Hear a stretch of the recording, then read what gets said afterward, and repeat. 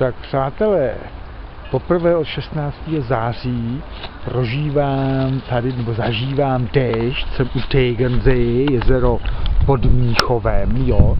A od 16. září, kdy jsem přivezl do kapky tu kapku krve heroické, nepršelo a byl ten slavný podzim, zlatý podzim roku 2005. A teď teda opravdu, ale už to skončilo.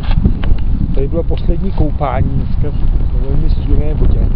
A teď jedu k jezeru zařizovat Vánoce teda už a doufám, že budou teda už s děťátkem, že jo, se svíčkama a s dobrůvkama a s dárkama. Takže zatím ahoj, čau čau.